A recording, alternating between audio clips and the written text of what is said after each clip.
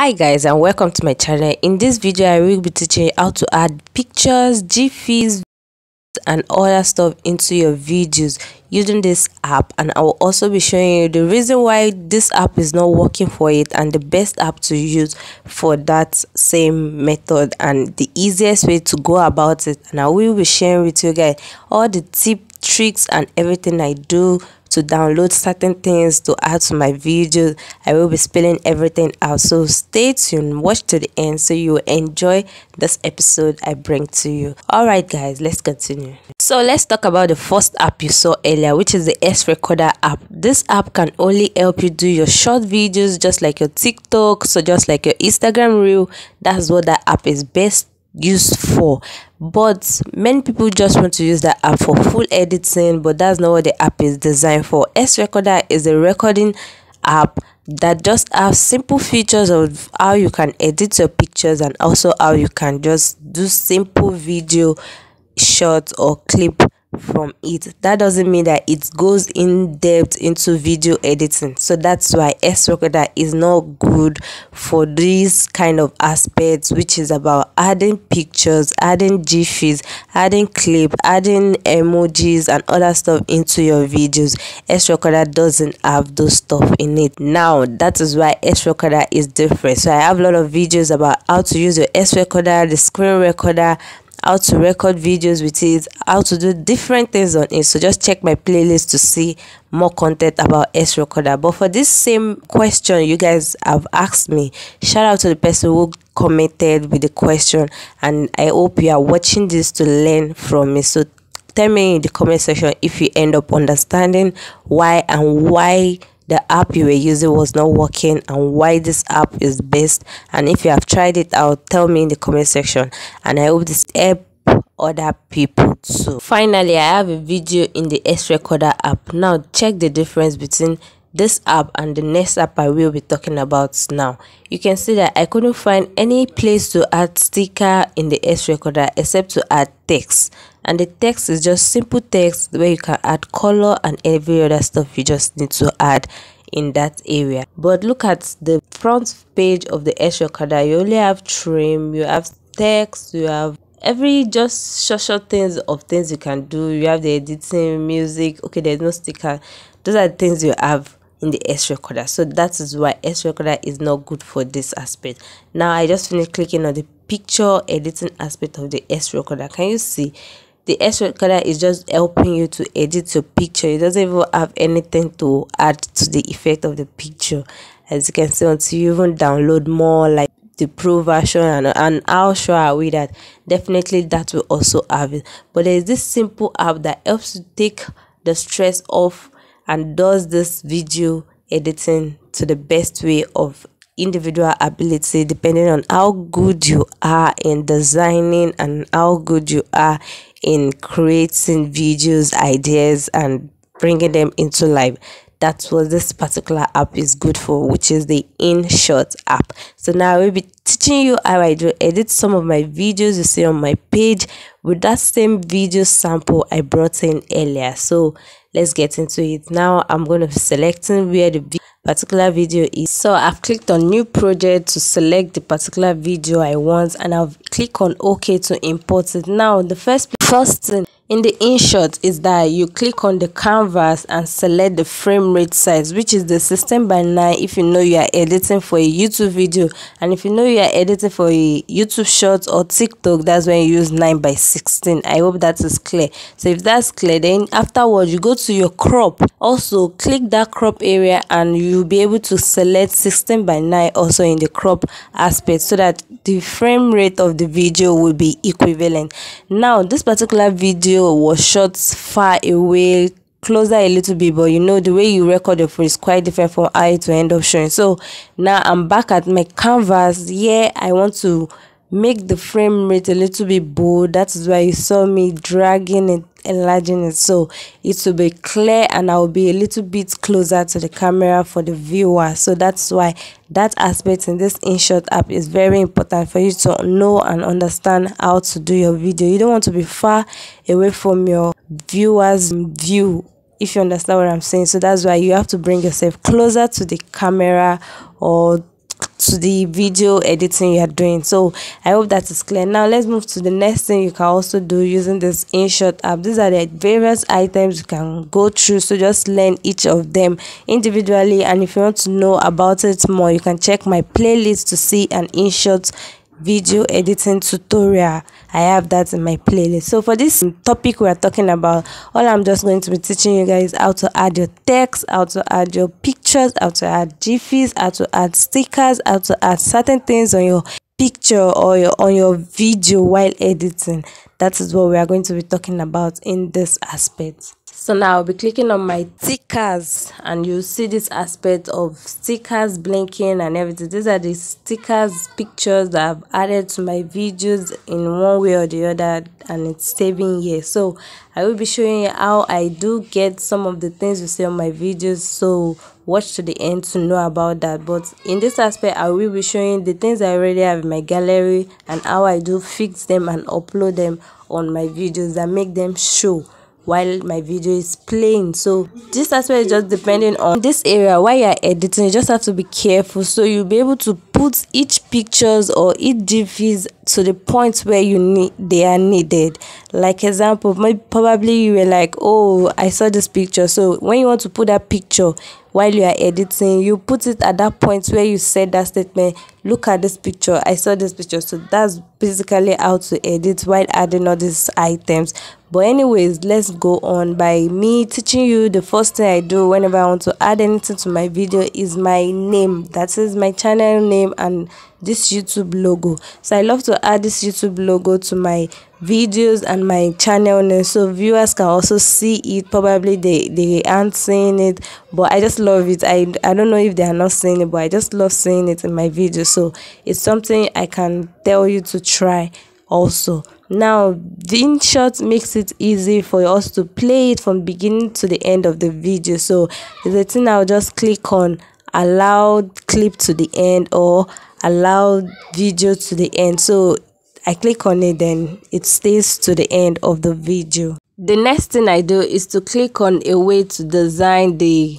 picture or item I brought in. If I want it to be dancing, shaking, blinking, anyhow, I will be clicking on this edit after clicking on the item I brought in. But watch how I'm going to be doing that next on another kind of design like secondly i will be typing my name which is Kaosarah Abdulfatai if you are new you're welcome to my channel in this channel we teach ourselves personal development with videos video creation how to improve how to do best at it.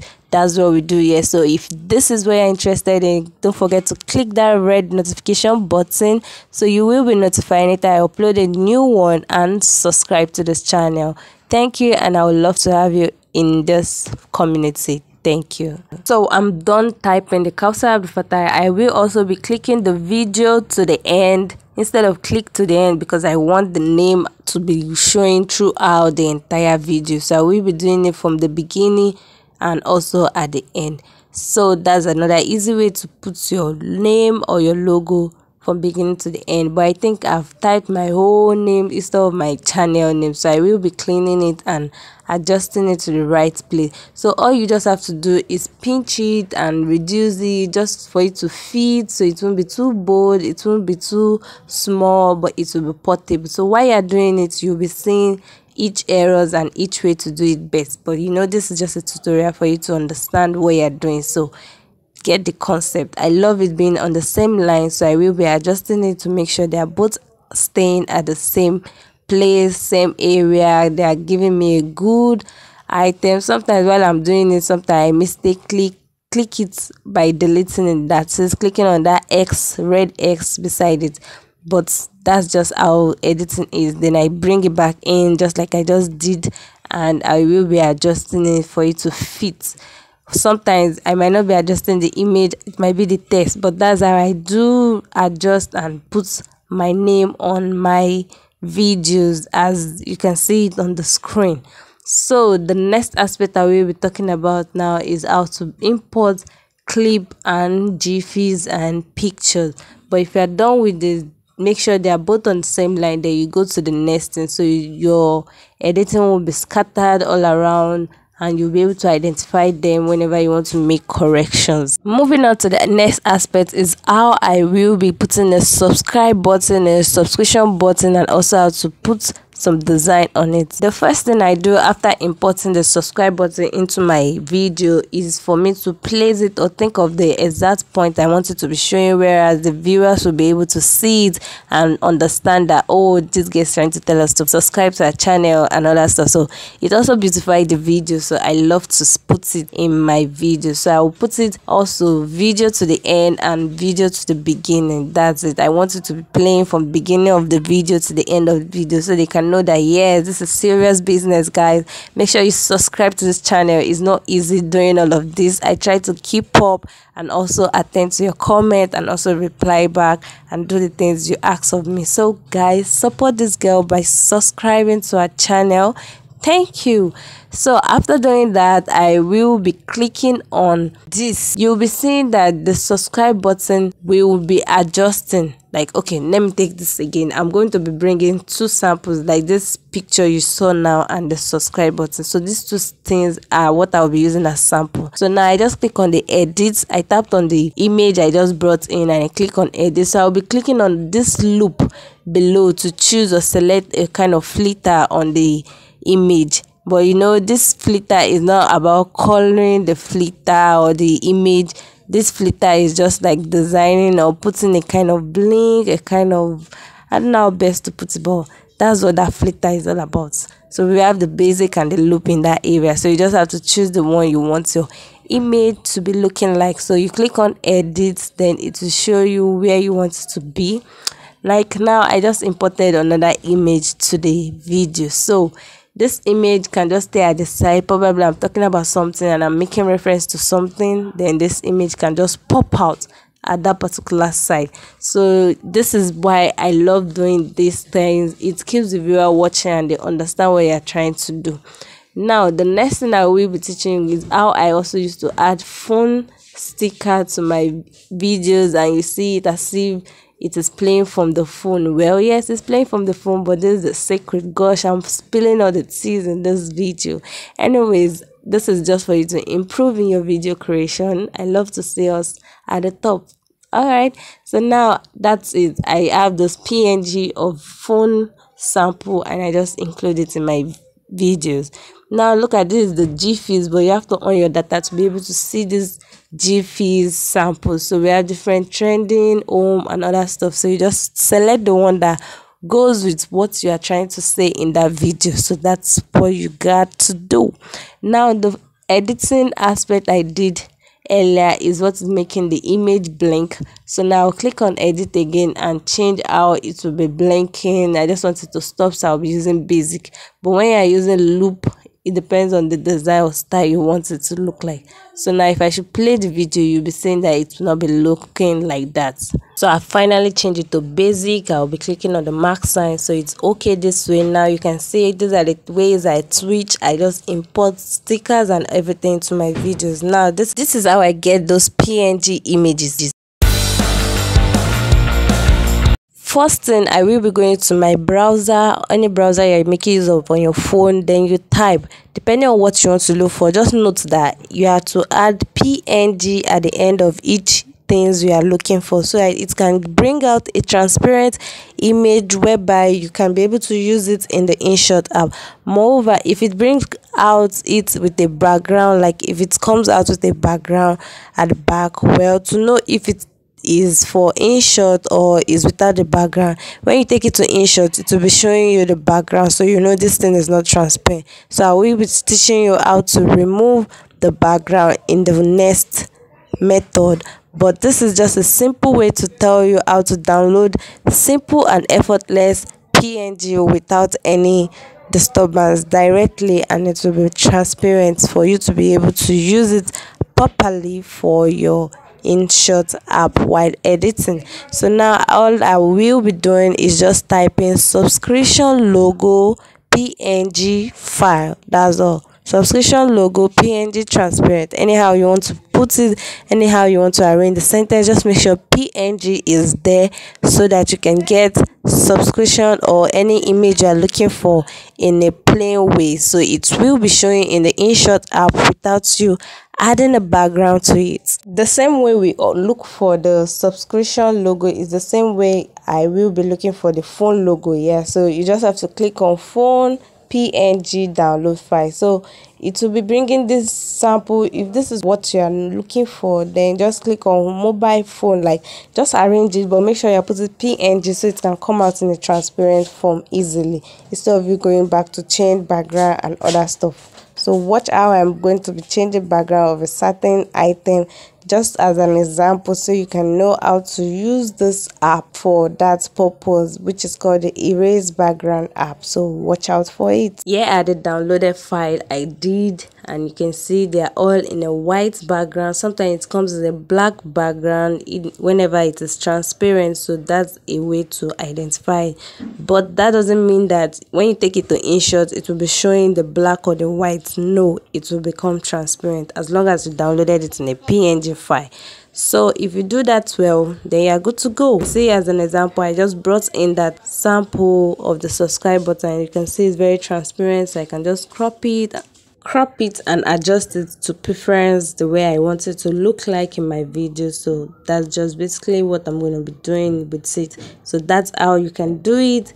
Well if you now want to add every other thing you feel like I guess now you know how to do it well and do it best. I hope this tutorial was helpful. Tell me in the comment section what you learned and what other things you would like to know more on. I will be glad to do and listen to you guys. So the next thing I have for you guys is this app called the Eraser Background app. So it helps you clean background of your image. Probably you want to change the background of your image. Probably you want to do anything concerning the background of your image. All you have to do is download this app from Play Store on your phone. Then you are good to go so it asks you to click on whatever items you want to erase the background off. So i'll be clicking on this particular image that i just screenshot and i will be clicking on the eraser.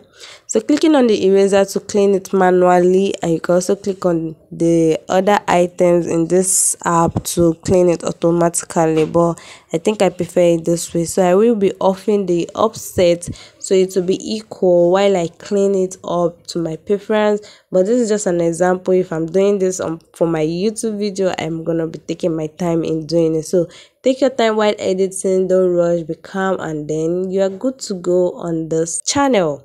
So i hope these tips were helpful. You will be seeing this app now in the InShot so you can see the difference between uh, downloading a more transparent background and also cleaning the background yourself. But either ways i think they are good to go just save it from that app. Then you come back to your InShot click on sticker and click on this plus sign then you import it into your video. So as you can see the background is gone you see so that's how good this app is. So you can try that out on your leisure time and then comment. Tell me in the comment section what you learned so far.